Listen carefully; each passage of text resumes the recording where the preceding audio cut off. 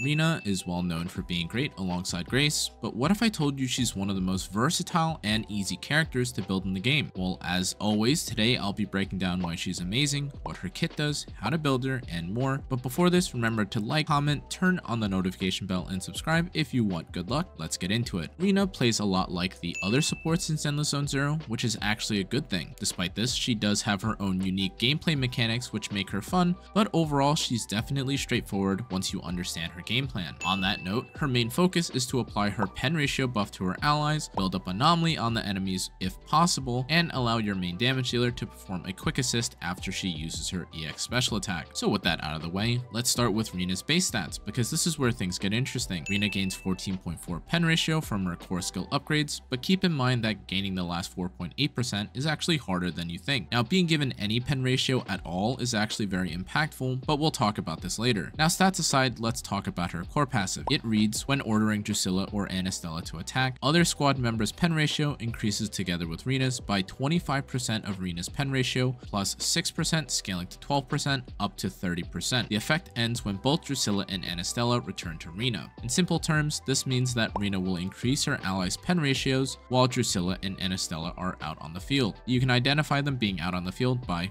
well, not being next to Rina. Something worth mentioning here about Rina and her ghosts is that doing certain attacks will leave them out on the field for longer. Performing a basic attack or a dodge counter will cause the ghost to stay out for roughly 7 seconds, and doing a chain attack or a special attack regardless of how much energy you have will leave them out for 9 seconds. Additionally, her pen ratio buff can be seen below the team's health bar, and you could use this as your indicator for when to swap back to Rina. Let's break down Rina's basic attacks. The first basic attack skill Rina has is Whack the Dimwit, which is a 4-part attack combo that applies physical damage in the first two hits and electric damage in the third and fourth. You can perform this by simply left clicking 4 times or by performing the basic attack input 4 times instead. The first physical attack is identified by Rina throwing out one of her ghosts. The second is identified by her moving the previously thrown out ghost a second time. The third, electric dealing attack, has Rina raise herself in the air slightly while also dealing electric damage and the final attack is a shower of electric damage over the enemy's heads. Something worth mentioning here is that any actions you perform with Rina during Drusilla and Anastella's attacks will not interrupt where Rina is in her basic attack combo. This means you can do any combination of her basics, sneak in a special attack, and still return back to where you were originally in your basic attack combo. Side note, these attacks do have pretty low damage and daze multipliers, and therefore you'd only use them to make sure your pen ratio buff is active. Her second basic attack skill is Shoe the Fool, which is what happens when you hold hold down her basic attack input instead. This causes Drusilla and Anastella to return back to Rina's side and perform a circle slash shower of electric damage directly surrounding her. Interestingly, this attack can also be performed when Rina holds down either her enhanced or non-enhanced special attack. Shoe the Fool has a higher damage and daze multiplier than Whack the Dimwit, however this is in exchange for it being a close ranged move and removing the pen ratio buff since the ghosts are forced to return. On that note, let's talk about Rina's special attacks. The unenhanced version of her special attack throws one of her ghosts in a straight line while bouncing. Although this has an extremely low daze and damage multiplier, it does still cause Rina's pen buff to be active for 9 seconds, so there's value in this. Her enhanced special attack is a line of electric damage that gives her invulnerability while casting it. This move is also one of Rina's most important since it has a 546 to 1092% damage multiplier alongside a 444 to 667% daze scaling. This alongside her throwing out the ghosts for a longer period of time and providing a 9 second pen ratio buff makes using this skill her number one priority. All of this, by the way, is without me accounting for the real biggest winner of her performing her special attack, which is allowing your main damage dealer to quick assist onto the field. This is especially important if you are using an attack character who has a Starlight W engine on, since this quick assist will activate its passive too. Rina's ultimate actually separates itself from other supports simply because you'd actually consider using it. Of course, this depends on the team that Rina is supporting, but a team like Grace Piper Rina actually finds good value in using the support's ultimate instead of either damage dealers. The reason for this is Rina's ridiculously high damage multiplier on her ultimate and both Grace and Piper being anomaly characters. Now in truth, her ultimate does not do that much damage all things considered, but given that Piper and Grace do a majority of their damage through anomalies, their ultimates don't do that much either. Additionally, Rina's ultimate provides 20 energy to the next character who she swaps to, while all other teammates gain 10 energy. So given that Grace and Piper do the most damage when they're applying their anomalies and proccing disorder, it's actually actually better for them in most cases to accept the additional energy from Rina's ultimate.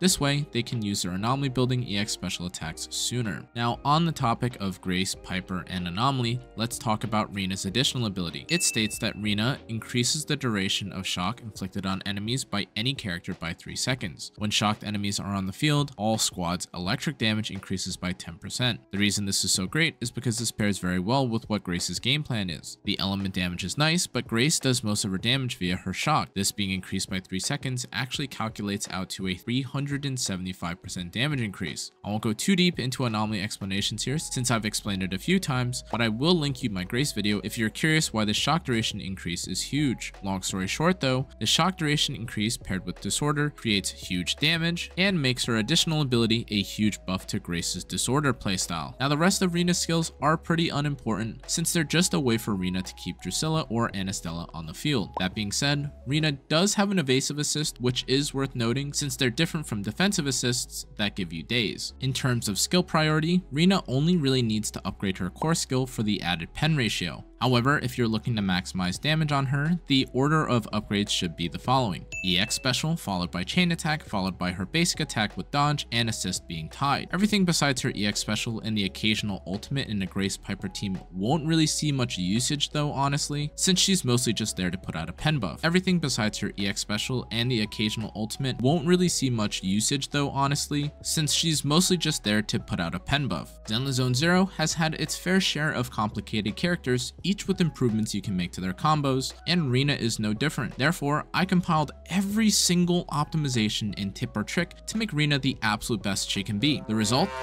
Yeah, this isn't a joke. When I said Rina's job is just to apply her pen buff, I wasn't kidding. In most cases, being on the field with Rina is already a DPS loss unless you're using her EX special attack. To be clear, this EX special attack and the shock she applies to enemies does do decent damage, however, any time spent on her instead of trying to build stun or deal damage with your main DPS will feel worse. Truthfully, the damage she does even if you commit to an anomaly build is not worth being on the field for too long, so this is actually just her most optimized combo. Use her EX special attack when you have energy and enjoy a pen ratio buff alongside some anomaly buildup. On a more serious note, if you don't have energy and your pen ratio buff is about to fall off, performing a quick basic attack or unenhanced special attack depending on the scenario is perfectly fine. The job of Rina and her combo is to get her ghost out as fast as possible for as long as possible, so either of these works fine. Now onto Rina's best set. She does have two options here, which is nice, with Freedom Blues and Swing Jazz, both being great regardless of which you choose to be the 4-piece set effect. Reducing the target's anomaly buildup res or increasing squad damage are both excellent choices. It just depends on your team composition and what you need more of. I won't go too deep into team composition yet, but if you aren't running Rina alongside anomaly focused teams, Swing Jazz definitely has great value since you're focusing primarily on the damage increase. One team, specifically Ellen, Rina, Sokaku, and this is where a Swing Jazz 4-piece effect would help a lot. Ultimately, there isn't a huge difference between the two here since each has its own value and every fight will play out differently, so just use the set which rolled better substat wise. Rina has a couple options for her W engine choice. The most and best performing is her signature, Weeping Cradle, since it gives her energy regen, increased damage against a target, and pen ratio on its advanced stats. However, obtaining this is more difficult since it is a standard banner weapon with the only guaranteed way to obtain it being in exchange for 600 residual signals. Your next best options are the following though, Mark II, Mark III, Unfettered Game Ball, and Slice of Time. Unfettered Game Ball is designed for crit based team compositions where Rina can apply the 12% crit rate and can make use of the 20% energy regen. Mark II and Mark III also provide buffs to the team which can make them viable W engines too, but Mark II is designed specifically for anomaly teams where Mark III can be used anytime an ally needs attack. It's good for crit and anomaly teams. Your final option here is Slice of Time, and this option is here primarily for the pen ratio it provides. It does also give energy regen alongside decibel generation, but now we need to talk about pen ratio. Part of the reason why Weeping Cradle and Slice of Time are good choices for W engines is because of the pen ratio they give. However, what we need to talk about right now is how much pen ratio you need to cap out on Rina's passive. With simple math, we can see that 72% is the amount that is needed to maximize this passive, but unfortunately there isn't a way to hit 72 exactly. If we add the pen ratio from Rina's W engine, the Puffer Electro 2-piece set effect, a pen ratio main stat on 5th slot, and the 14.4% pen ratio Rina receives from her core passives, this only leaves you with 70.4% pen ratio, which is not 72. In case you were curious, the normal pen stat does not affect this calculation either, so Rina currently is stuck with 70.4% pen ratio at max, and therefore only provides a 29.6% pen ratio buff to the team. Side note, using Slice of Time instead of Weeping Cradle does not change the pen ratio buff that much since it still provides 28.6% pen ratio. Now finally, we can talk about the stats and build that Rina will be aiming for. Rina will want as much pen ratio as she can find of course, so that means a 5th slot pen ratio disc is mandatory. Her 4th disc can either be Anomaly Proficiency for debuff gaming or crit if you're a monster. And finally, her 6th slot disc can either be Attack, Anomaly Mastery, or Energy Regen. All of these options are fine, but deciding on the main stat for your Rina will ultimately come down to how the discs rolled and what combination of set plus W engine you have. A sample build for Rina would be the following. 4-piece Freedom Blues, 2-piece Swing Jazz, Weeping Cradle because you lost a 50-50 on Zhu W engine banner, or a Slice of Time, and finally a disc combination of Anomaly Proficiency, Pen Ratio, and Energy Regen. Stat-wise, you are looking for at least 280 Anomaly Proficiency, 2 Energy Regen if you decide to use a Pen Ratio W engine, and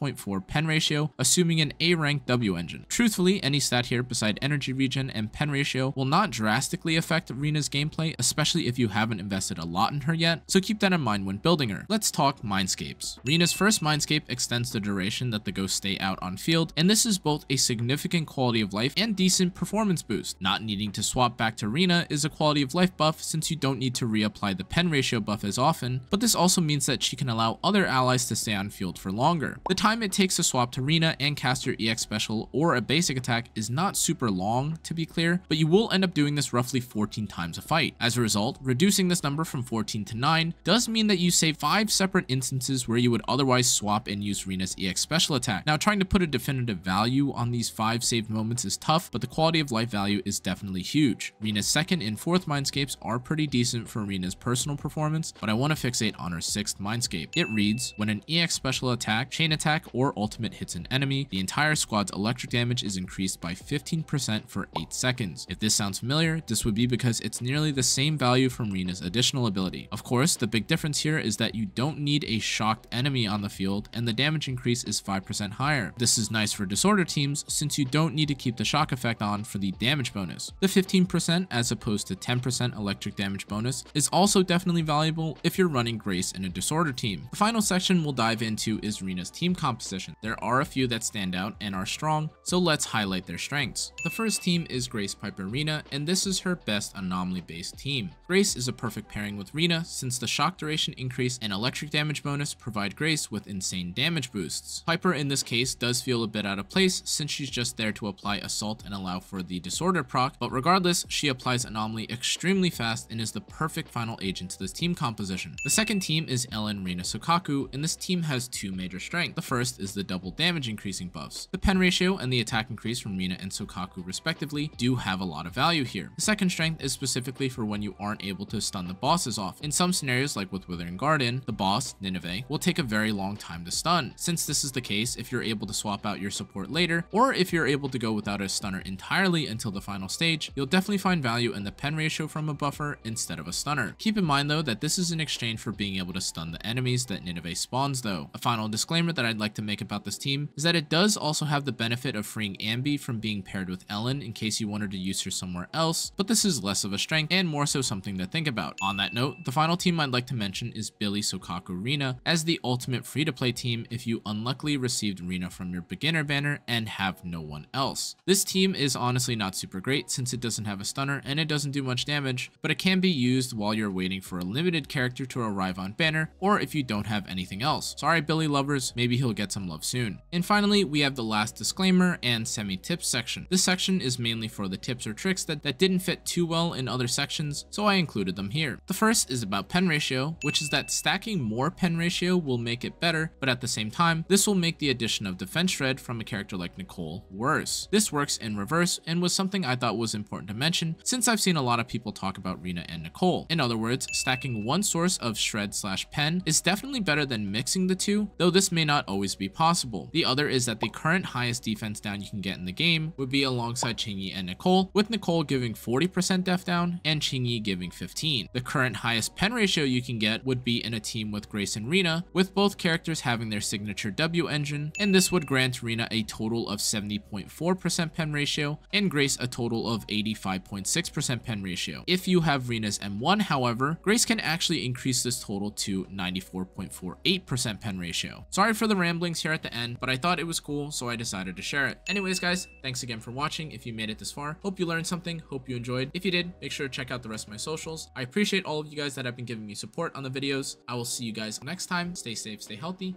Good night.